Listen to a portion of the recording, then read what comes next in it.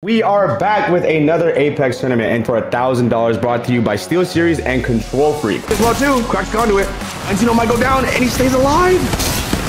Conduit Q. Oh, I actually almost maybe two bullets. Probably not even a. Okay, so after the first game, we have Random on top with 11 kills and 23 points. Good golly grief, bro.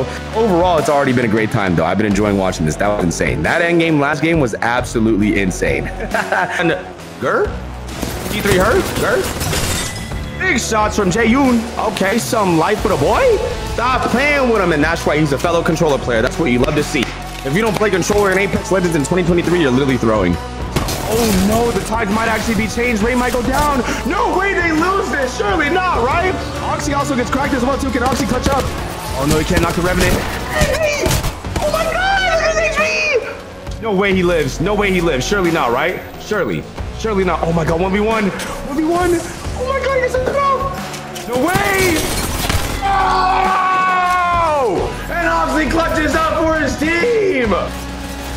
Oh my Jesus, man, this team just annihilated them. Hey, great effort from Kobe's team. They put up a fight, but this team was just simply better. Drop in gaming with 13 kills and 25 points in first place. Good. Oh my God, 13 kills? Two. Favorite shot does not connect. Guys get the knock with bomb. Oh my God, no!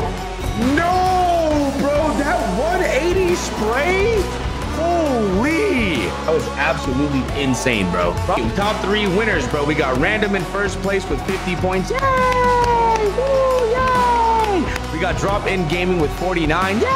Woo, yay! And Grippy Socks in third with 37. So those are going to be our top three teams who are actually going to be within the money. And we ran a great tournament. It was a great turnout. It was a great turnout. Um, you know, I loved uh, casting. I loved watching it as well. It's always fun watching competitive Apex. So appreciate you guys so much. And I will see you guys soon.